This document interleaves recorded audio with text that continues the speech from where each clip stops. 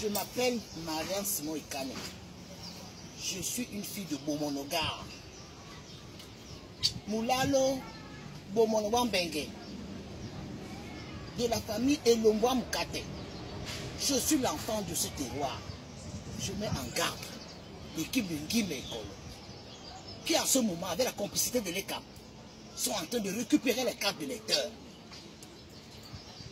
Vous l'avez fait en 2013, aux législatives. Cette fois-ci, dans l'obscurité comme dans la lumière, moi, Marianne Simon Ekane, fille de Ekana Bongo et de Mukate Boumologar, vous me trouverez sur votre chemin. Il est hors de question, dans la lumière ou dans l'obscurité, dans n'importe quelle lumière ou dans n'importe quelle obscurité, vous me trouverez. Ça ne se passera pas comme ça. Il est hors de question que le titulaire de la carte d'identité ou de la carte de lecteur ne soit pas celui qui vote. Je traquerai les urnes jusqu'à la fin. Je vais partir de la commission communale de vote. Je traquerai toute la nuit. S'il faut que je dorme avec les urnes, à vos côtés, nous dormirons avec cette urne. Que les cam, on met les cam en garde. Ça ne se passera pas comme ça. On a jamais c'est socialiste dans le nord-ouest et le sud-ouest. Si vous en voulez à Dibombari, on en aura.